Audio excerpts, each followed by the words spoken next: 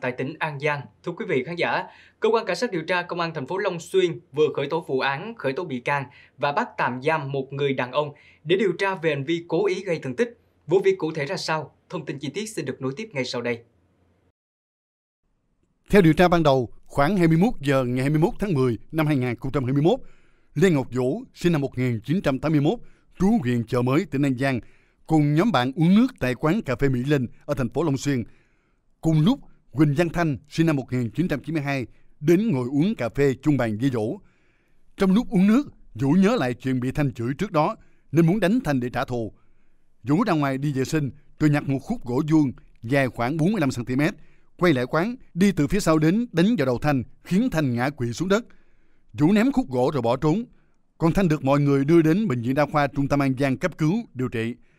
Theo kết quả giám định pháp y, tỷ lệ tổn thương cơ thể do thương tích gây nên đối với Thanh là 15%.